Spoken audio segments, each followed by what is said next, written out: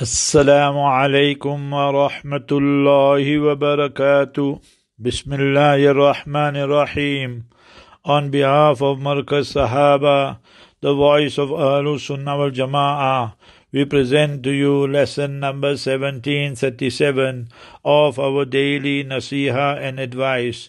Today, with the grace and mercy of Almighty Allah Jalla wala, we focus on the 22nd of Muharram.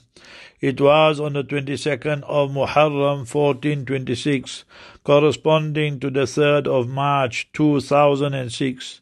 The Indonesian Muslim brother Abu Bakar Bashir was pronounced guilty for participating in the bombing of Bali in Indonesia, which occurred in October 2002. However, he denied any involvement and said that this was a plot by the United Nations to keep him in prison. Almighty Allah alone knows who's guilty, who's innocent. However, four or five things we need to discuss. If a Muslim person is innocent and is in jail, then remember that is Sunnat Yusufi. Nabi Yusuf wasalam was sent to jail, totally innocent, and he spent several years there. And then the women who tried their level best to seduce him, they themselves admitted they were the guilty ones, and he was the innocent one. So that is what we call it Sunnat Yusufi. Second, we know the hypocrisy and the double standards of the West. Look at Gitmo, Guantanamo Bay is a perfect example that where is the due process? Where is the rights of the prisoners? So remember they are kept there and remember these are the people who speak of human rights. They are the people who speak of the Geneva Convention. These are the people who want to tell us about the rights of animals, but they treat people worse than animals so because you are a Muslim and the Muslim countries, Arab countries today, 99% don't have any teeth. And remember that is why they exploit the situation. And third one, remember by Almighty Allah Jalla wala, definitely justice will prevail. وَلَا تَحْسَبَنَّ اللَّهَ غَافِلًا أَمَّا يَعْمَلُ الظَّالِمُونَ Whatever the zalim oppressors, tenpot dictators are doing today, they should never think that Almighty Allah is unmindful of it. Allah knows everything.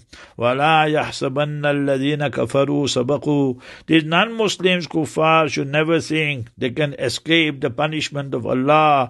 Beat Allah. Innahum la yu'jizun. They can never ever frustrate the plan of Almighty Allah. Sooner or later, Allah ki lati be awaz hai. The stick of Almighty Allah Jalla wala does not make a noise.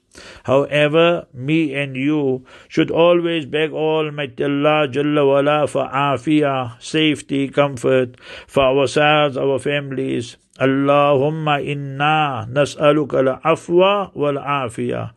Oh beloved Allah, we beg of thee forgiveness. We are sinners. We admit there are no mitigating circumstances. And Ya Allah, grant us safety, comfort, protect and preserve our iman, our Islam. The hadith in Ibn Majah, Musnad Ahmad, various compilations. Second, always read Surah 12, verse 64.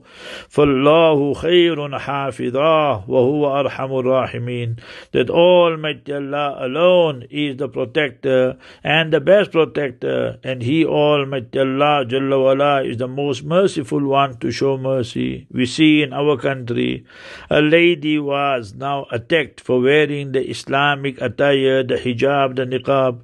So these things will increase. Remember that. So we need to be vigilant. We must be the one that influence the lives of others and not get influenced by others. So that is very, very important. Never suffer from the inferiority complex. We have the best and it is our duty to share it with the rest. May Almighty Allah Jalla wala make us ambassadors of Islam. قل هذه سبيلي أدعو إلى الله Say, O Mustafa sallallahu alayhi wasallam, this is my way and path. I invite towards Almighty Allah ala basiratin with firm conviction. Ana wa manittaba'ani. I and those who follow me immaculately. Almighty Allah grant us tawfiq. Ameen. Ya Rabbal Alameen. Assalamu alaikum wa rahmatullahi wa barakatuh.